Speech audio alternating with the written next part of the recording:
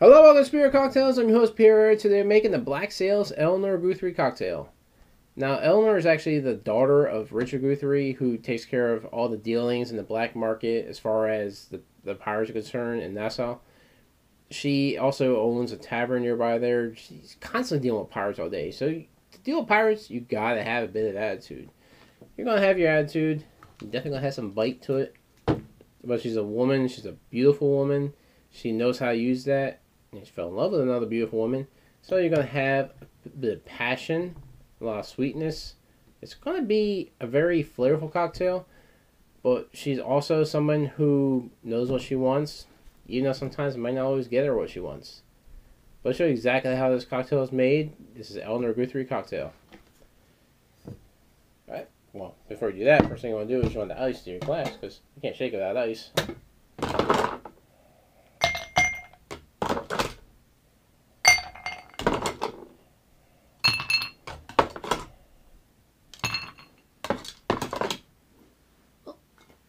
That's good.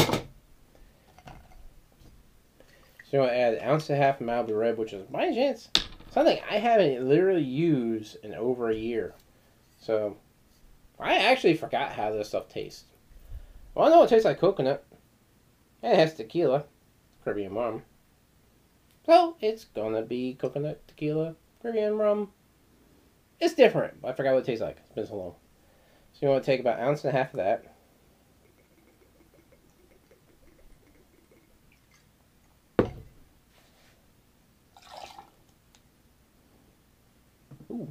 Definitely smell that tequila.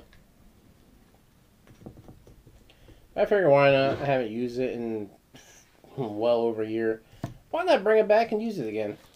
Plus, it gives a little bit of passion, a little bit of red hit to that.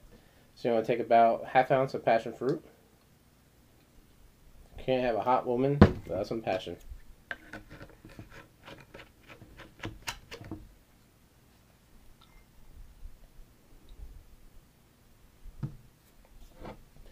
An ounce of spiced rum.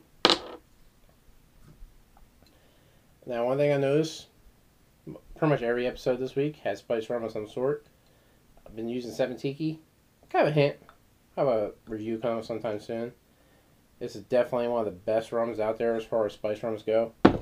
You'll love it. If you haven't tried it, try it. Guaranteed, you're going to love it.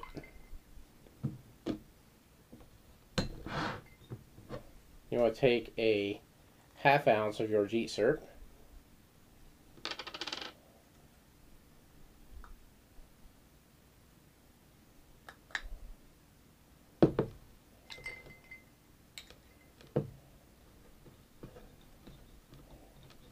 Yeah, about that later. Then you want to take three ounces of grapefruit.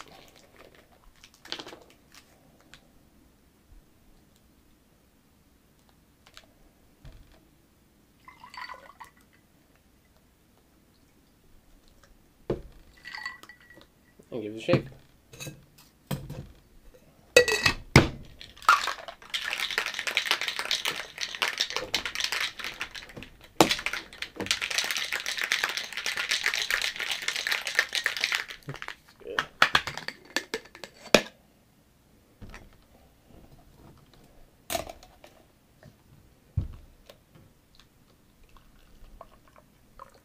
Tell you one thing, I love that color. It's actually more of an orange color. Surprisingly, because, well, most of your color is only coming from this and this, and a little bit from the rum. But basically from those two. But there you have it. The Black Sails Eleanor Guthrie cocktail. It already looks pretty damn good just, just looking at it. See how it tastes. Wow.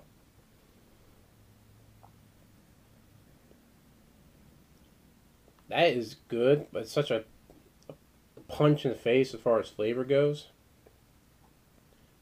You're tasting pretty much everything. You're definitely getting the coconut out of that Malibu Red. The passion fruit definitely stands through. It's definitely going to have a lot of sweetness to it. Orgeat kind of works in the background. You're getting a lot of that rum notes also with that. Because really, if you look at it, your only alcohol are these two. The majority of it is coming from Malibu Red, so you're going to get that coconut rum with that. But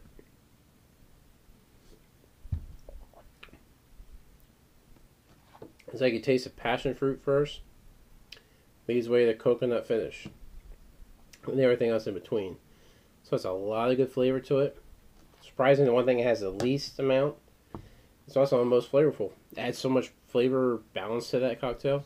It makes it really good. It's a nice orange, kind of pink color. Perfect for the fact that it's a woman. It's a she's also a very powerful woman, so it definitely has some potency in the end because you're getting something from this. So it's not like just going to be like a completely plain off the wall cocktail. It's going to have some potency to it, but not a lot. But it's very flavorful. I actually really like this. All week, the most flavorful cocktails were this and John Silver, surprisingly.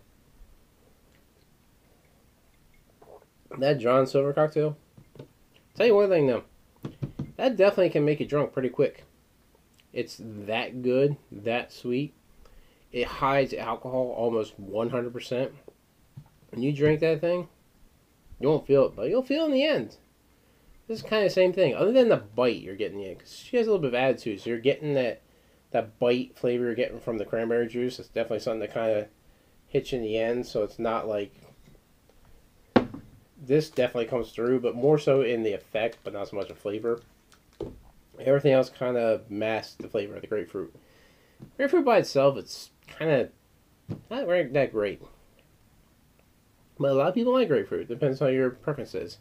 Have Bay Breeze, have whatever you want. Add some flavors to it. Bringing that flavor out to it. You may like it, you may not. Don't know. But this one is very good cocktail. It's definitely something I would sit there and probably drink this whole one too.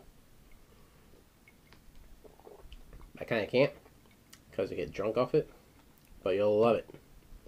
Let me know what you guys think of this cocktail. Be sure to like us on Facebook on Such Favorite Cocktails. Check out the, all the other episodes we have for the Black Sails. If you ever watched the series, if you ever watched the, the season premiere season two, let me know what you guys think. It's a really good series. I love pirates. So this whole week, nothing but rum style cocktails. Because it's pirates. And it's black sails. Why not bring some rum in there? But I know you're guaranteed to love all these cocktails. I love every single one I made this week. Guaranteed you will too. Sure like us. Subscribe to us on Facebook, on YouTube. Uh, donate your, well, submit your cocktails. Whatever you want. Don't have to be pop culture. It can be whatever you want to be. As always, drink responsibly.